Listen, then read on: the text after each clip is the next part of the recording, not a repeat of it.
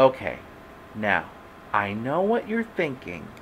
Why would a human being fall in love with a dragon? The answer is simple. I created the Natsume Todd love relationship. No surprise that a dragon and a human would elope.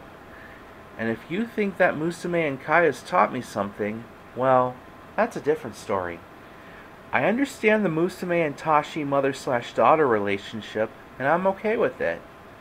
Hope you guys don't mind.